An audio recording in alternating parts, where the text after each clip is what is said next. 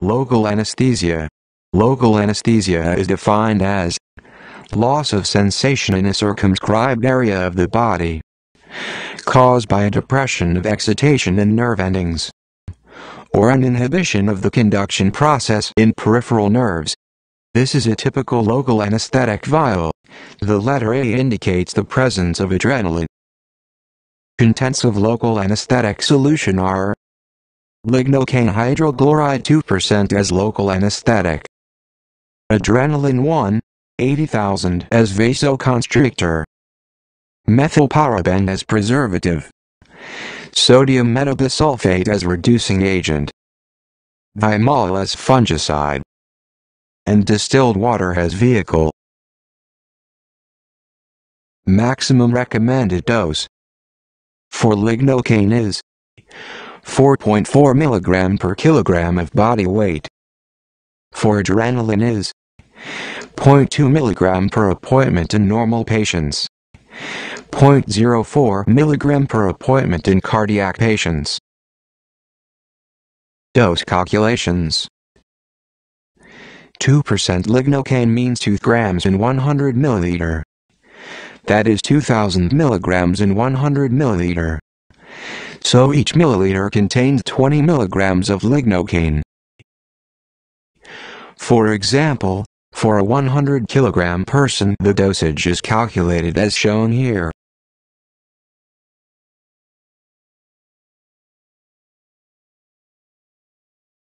One eighty thousand adrenaline means one gram in eighty thousand milliliter.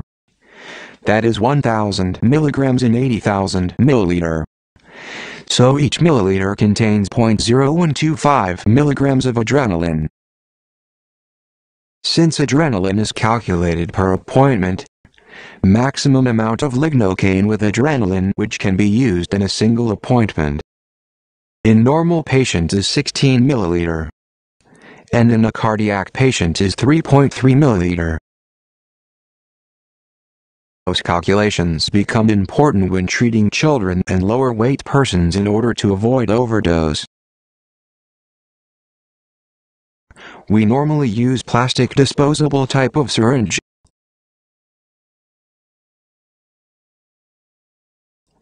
It is sterilized and packed using ethylene oxide.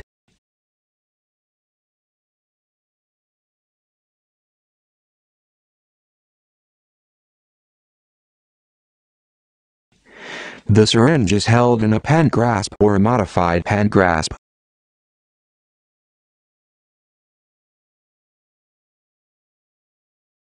The parts of the syringe are cap, needle, hub, barrel, and piston.